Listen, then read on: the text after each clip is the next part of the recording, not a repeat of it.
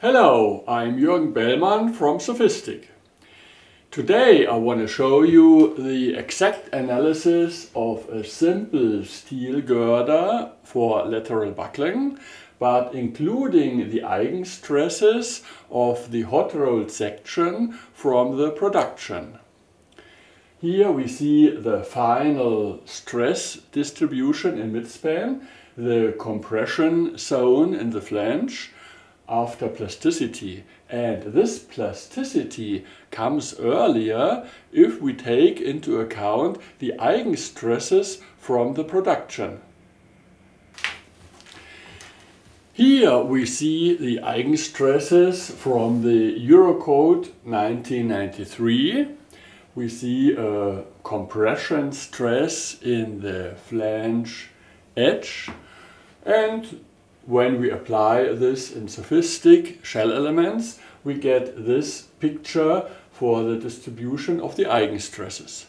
Now how to input all this? The first question is, shall we use a beam analysis or a 3D quad analysis? Of course, the first idea is to use a beam section, but we cannot input the eigenstresses inside the section with SOFiLOAD. So the only way would be to define different materials here and to shift the stress strain curve for every material. But this is also very complicated and not so easy to understand. So I show you the way how to analyze it with a 3D quad mesh. We see it here. The advantage is that you automatically can take into account the warping of the section because the quad elements in the flange are automatically eccentric and the section can also work not in plane but could also get out of the plane. Here we see the eigenstresses that I introduced here in this quad mesh and we see in every quad element here I took a different pre-stress but constant in one element. So I made here groups, group 1, 2, 3, 4, 5 and every group gets a different pre-stress. On the next page, we see the finite element node numbers. I decided to use centric quad elements with a node in the center and started with node number 1, 2, 3, 4, 5 up to 9 in the center and 17 on the left. In the bottom plus 20, 21 up to 37 and in the web 41 up to 47 and so on. In reality, of course, we have here a little thickness. And so I decided to use the xi value for the web, starting with xi equals 0 to xi equal 1 at the lower part of the steel. From this part, 41, to node number 9, I use a simply coupling. For the flange, I use a on the top, starting at 0 up to 1. And we can define the xi values on the top with a simple array. We see here the array is xi top from 0 to 9. 0 usually I don't use, so xi top equal 1 is 1, that is the outer part. And the next one, 09, is node number 2. We see now here the input in SOFiLOAD, where we have group number 1 getting a strain input epsilon x, and this epsilon x is just the maximum sigma I want to apply combined with the E modulus. So we can easily make the input for the first group that is the outer quad element, using the xi on the side, that is 1.0, plus xi of the next node, and making the average of it. And this average strain is for group number 1 and so on up to group number 8. We only have to input the maximum sigma at the boundary. On the next page we see how to input the pre-deformation. Of course we have to apply a pre-deformation. Maybe the pre-deformation is length divided by 300 or you can also use length divided by 1000 if you want. We just make a simple wind from the side getting this deformation including the stress from wind and then we can just use this load case for a pre-deformation in the command oblique, where we select this load case, setting the maximum deformation shall be length divided by 300, and so we get a stress-free pre-deformation. In the German input it is Ski for Schiefstellung. Now let's go to the input file. I use Simple Teddy, but of course you can also make it in an SSD or you can make your input with SOFiPLUS graphical input. But here I have SOFI Mesh A because you have the full control over the node numbers. We have some general variables, the height, width, total length and so on. And then here we see the picture that I already made with the xi definition and with the node numbers. And then the most important input of the xi on the top and the xi on the web. If you are not used to work with arrays, you can use my video here where I explain something about teddy arrays. Now we start defining the master nodes at x equals 0. If we go to Wingraf, look from the side and only take the first elements, in 3D we can look to the node numbers and we see here the node numbers 1, 2, 3, 4, 5 up to 17, 21 to 37 and in the next plane, we see we have an increment of 100. So the master nodes are here in the first plane. Also the master nodes for the web.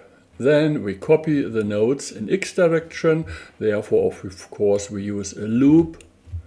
We have first the nodes for the end axis, then the loop for the real span and then the axis at the end.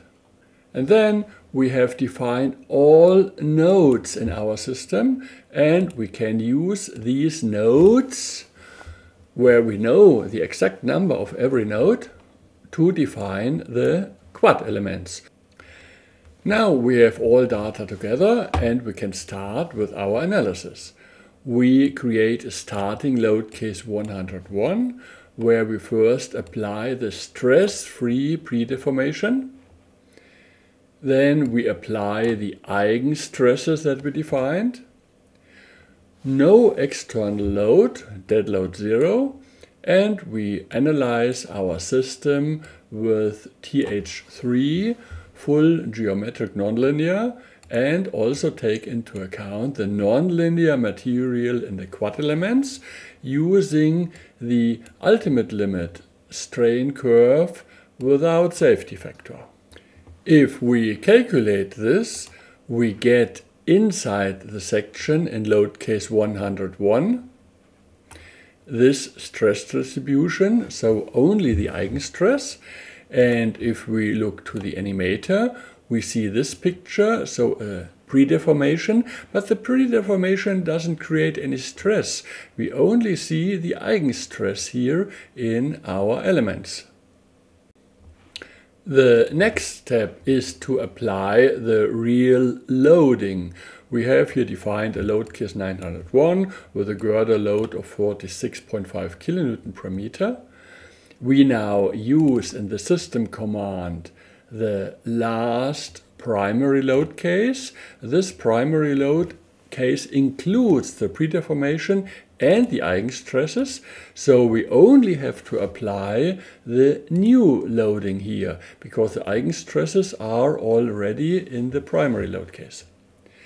For the next load step, we have to apply the loading because this is a real loading and not only an eigenstress. So we define the next load case 102, define a factor maybe of 0.2, and we calculate this load case with a new factor giving it a title. And here you can also use this feature. The title of the load case will be plus loading factor factor. With this you can print the factor with six characters and two digits behind. Then we increase the load to 903 to 50%, 80%, 100% up to 107. This is a manual load increase because I often use it to get a feeling for the system. You know exactly, okay, I increase the load, what happens? At the end, I show you the automatic load increase. But first, look to the load cases 100, 2, 3, 4. In the animator, we use a constant magnitude of maybe 15. We choose the next load case, next, next, next load case. And we see very nice how the lateral buckling of the girder increases. And also the color in the top flange we see is now concentrated here on the compression side.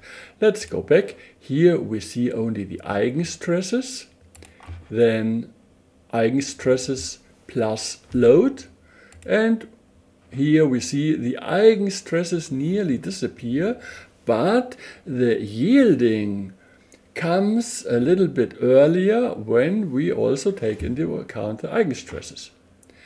We can also check this in our Wingraf plots. 101 eigenstresses, 102, 3, 4.